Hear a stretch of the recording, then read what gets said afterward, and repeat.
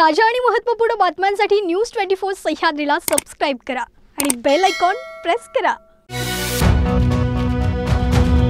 प्रेक्षको नमस्कार. आत्ताची सर्वात मोठी बातमी आहे कोतवाली पोलीस स्टेशनमध्ये अत्याचाराचा गुन्हा दाखल असलेला तत्कालीन पोलीस निरीक्षक आणि सध्या आर्थिक गुन्हे शाखेत पोलीस निरीक्षक म्हणून कार्यरत असलेल्या विकास वाघ याच्यावर निलंबनाची कारवाई करण्यात आली आहे.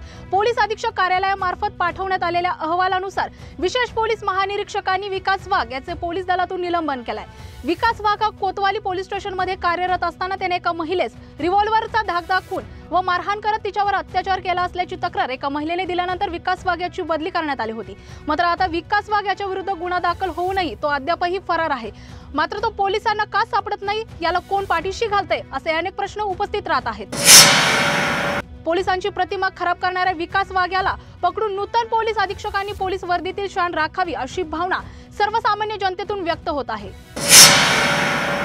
मात्र ताज्या आणि महत्त्वपूर्ण बातम्यांसाठी तुम्ही पाहत रहा न्यूज ट्वेंटी फोर सह्याद्री.